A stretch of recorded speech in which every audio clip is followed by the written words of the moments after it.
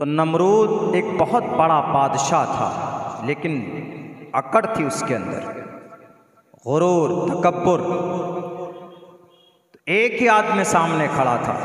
हज़रत इब्राहीम सलाम ने कहा कि I will not accept your louder leadership मैं तुम्हें खुदा नहीं मान सकता। मैं तुम्हें ईश्वर नहीं मान सकता। क्यों? तुमको उसी खुदा ने पैदा किया, मेरा खुदा वो तो नमरूद ने कहा कि इसको सबक सिखाना पड़ेगा। ये नहीं मानेगा लोग। लोगों के दिलों से मेरा डर और रौब निकल जाएगा। इसलिए काम करो ये लोगों। लकड़ियाँ जमा करो। लकड़ियाँ जमा की गई। महीनों तक आग सुलगाई गई। उसके बाद जब हज़रत इब्राहिम सलाम को एक मंजीक में डालकर, एक मशीन में डालकर उनको आग में डालना था, फेंकना था। तो हज़रत जब्राइल अमीन तशरीफ़ लाते। जब्राइल अमीन पूछते हैं कि, इब्राहिम, आप सिर्फ़ इशारा कर दीजिए, अभी इस नमरूद की टोटल ताकत को मैं एक, अपने एक पर में ये जितनी भी लकड़ियाँ महीनों तक लकड़ियाँ जमा की गई थी, आप अंदाज़ा लगा सकते हैं कि कितनी लकड़ियाँ जमा की गई होंगी हज़रत इब्राहिम को जलाने के लिए। कई महीने तक लकड़ियाँ जमा हो गई और फिर कई दिन तक वह आग सुलगाई गई। यानी मुकम्मल तौर पर वह साजिश रच चुके थे कि इस इंसान का खात्मा करना है, इस इंसान को हमें जलाकर भस्म करना है। लेकिन जब कोई ईमान के साथ अमल साले करता है। लेकिन जब कोई सच्चा मोमिन होता है, लेकिन जब कोई सच्चा आशिक अल्लाह का होता है, लेकिन जब कोई सच्चा तलबगार रब जलाल का होता है, उसकी ताकत का होता है, उससे डरता है, फिर दुनिया की किसी ताकत के सामने अपना सर नहीं झुकाता। उसके बाद उन्होंने कहा, जब्राइल ने कहा कि इब्राहिम, ए खलीलुल्लाह आपको तकलीफ़ नहीं होने देंगे। मैं आया हुआ हूँ ना, मैं जब्राइल हूँ। आप तो जानते हैं कि मेरी कितनी ताकत है। आप तो जानते हैं कि अल्लाह ने मेरी ताकत की कस्में कुरान में खाता है जी मकीन। अल्लाह ने जब्राइल की ताकत की कस्में खाई है कुरान में। इतने ताकतवर, ये तो वक्ती तौर पर पाँच साल के लिए कुर्सी में बैठते हैं। तो ये किसी कमज़ोर के घर को बुलडोजर से तोड़ देते। किसी किसी लाचार निहत्थे और बेबस इंसानों को अपना रौब जमाने के लिए सीएम मिनिस्टर मंत्री ऑर्डर देता है कि तुम फना के घर को बुलडोजर से बुलडोज कर दो, डेमोलिश कर दो, ताकि मेरा रौब बरकरार रहे। निहत्थों पर लाठी चार्ज करते, उनके घरों को उजाड़ देते। अभी मुंबई मीरा रोड के अंदर जो लोग बेचारे, जो लोग बेचारे मजलूम थे, उन्हीं की दुकान को बुलडोज किया गया।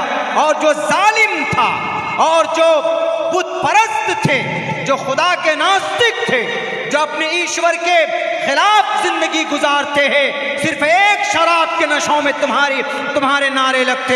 एक शराब की थैलियों में तुम अपने ईमान को बेच देते हो। एक शराब की थैली में तुम अपने शास्त्रों का सौदा करते हो। शास्त्रों में कहीं नहीं लिखा है कि जानवरों को मारो, जानवरों को बचाने के लिए इंसानों को मारा जाए। जानवरों की रक्षा के लिए मासूम इंसानों को बचाया जाए, मासूम इंसानों को मारा जाए, उसकी हत्या की जाए, मना किया है। साफ़ साफ़ लफ्जों के अंदर, शास्त्रों में कहा गया है कि ऐसा नहीं होना चाहिए। इंसान बड़े ही इज्जतदार रेस्पेक्टेबल ये प्राणी है। इनकी इज़्ज़त होनी चाहिए, इनका सम्मान होना चाहिए। बैरकैफ, अपनी ताकत का नाजायज़ इस्तेमाल करते हैं लोग किन पर? गरीबों पर। लेकिन जब्राईल अमीन, ताकत के मालिक, हज़रत इब्राहिम कहते हैं कि जब्राईल मैं तुम्हारी ताकत का मिसयूज़, हालाँकि मिसयूज़ नहीं था वहाँ पे, अगर जब्राईल अपनी ताकत के ज़रिए से, अपने पर के ज़रिए से, अगर इब्राहिम को बचाते तो वो उनकी ताकत का मिसयूज़ नहीं होता, बल्कि मदद होती वहाँ पर। लेकिन पता है, क्या कहा हज़रत इब्राहिम ने? हज़रत इब्राहिम ने कहा कि जब्राइल, मैं जानता हूँ तुम अल्लाह के सबसे महबूब और सबसे बड़े फरिश्ते हो। मुझे पता है कि दुनिया की सारी बुलडोज़र की ताकत एक तरफ़ और तुम्हारी ताकत एक तरफ़। सारे बुलडोज़र, ये जितने भी लाल, पीले, लाल बुजक्कर हैं ना ये जितने भी लोग बुलडोज़र दिखा दिखा करके डेमोरलाइज करते, एहसास कमतरी का शिकार करवाते हैं, इस देश के अंदर खौफ और का माहौल पैदा करते हैं। इन सब के लिए पैगाम है जिब्राइल अमीन का। उनकी ताकत का इस्तेमाल कैसे होता है? हज़रत इब्राहिम ने कहा कि, जिब्राइल, सब्र करो। मुझे तुम्हारी ताकत की मदद की ज़रूरत नहीं है। सिर्फ़ इतना बता दो कि मेरा अल्लाह मुझे देख रहा है कि नहीं देख रहा। मेरा खुदा उनको मालूम है कि नहीं है कि मैं आग में डाला जा रहा। तो हज़रत जब्राइल ने कहा कि अल्लाह सब कुछ देख रहा है, अल्लाह को सब पता। उन्होंने कहा कि, जब्राइल तो तुम हट जाओ। आज मैं, मेरी मदद, मेरा अल्लाह देख रहा है, वो क्या चाहता है, मैं वो देखना चाहता हूँ। अगर अल्लाह यकीनन मुझसे मोहब्बत करते, अल्लाह को यकीनन अगर अल्लाह का, अल्लाह मुझसे काम, मुझे काम के लिए चुना है तो अल्लाह मुझे कभी ज़ाय नहीं करेगा। जाओ मुझे तुम्हारी मदद की ज़रूरत नहीं।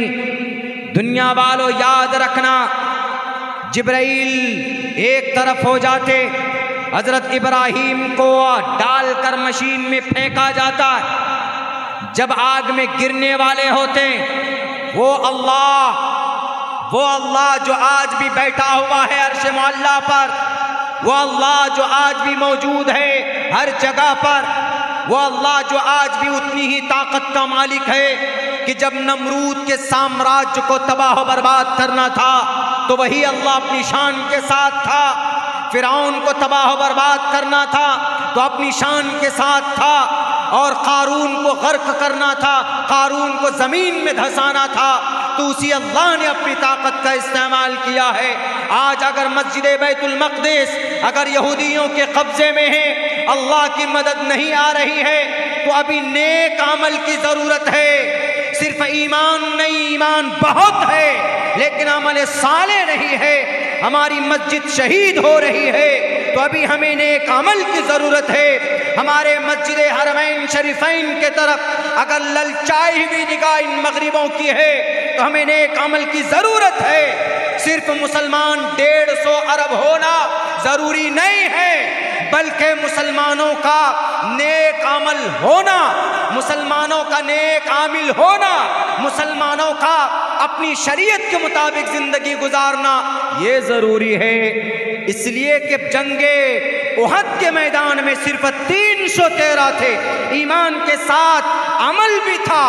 तो हज़रत तीन सौ तेरह सहाबा लड़ रहे हैं, लेकिन जब देखा कि सहाबी लड़ रहे हैं, ईमान वाले लड़ रहे हैं नेक अमाल वाले लड़ रहे हैं। तो अल्लाह तबारक ताला ने जिब्राइल को भेजा कि जाओ जिब्राइल, मेरे तीन सौ तेरह नेक सहाबी हैं। मेरे तीन सौ तेरह अच्छे अमल वाले सहाबी हैं। सिर्फ़ मोमिन नहीं थे, बल्कि एक एक अमल, शरीयत के एक एक हुक्म पर अमल करते थे। अल्लाह ने आसमान से कई हज़ार फरिश्तों की झुंड भेज दी। जिब्राइल अमीन के साथ इन तीनों, इन तीन सौ तेरह लोगों के साथ, कुफ्फार और मुशरकिन मक्का के साथ उनकी मदद की गई वहाँ पर।